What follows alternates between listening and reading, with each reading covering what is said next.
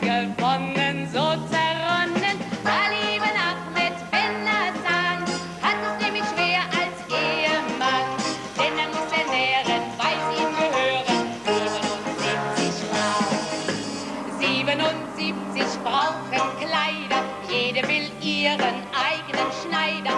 77 mal Friseur und ein Auto mit Chauffeur.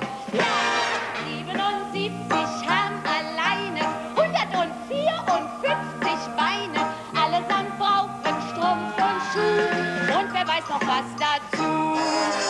Ali Ben Ahmed Ben Hassan hat die satt bis oben an.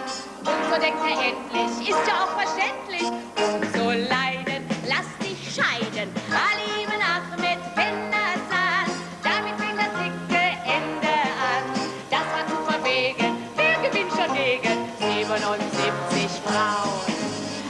77 Rechtsanwälte leben nun auch von seinem Gelde. 77 Schreiber gar wollen auch ihr Honorar. Herr 77 Scheidungskadis machen die Arbeit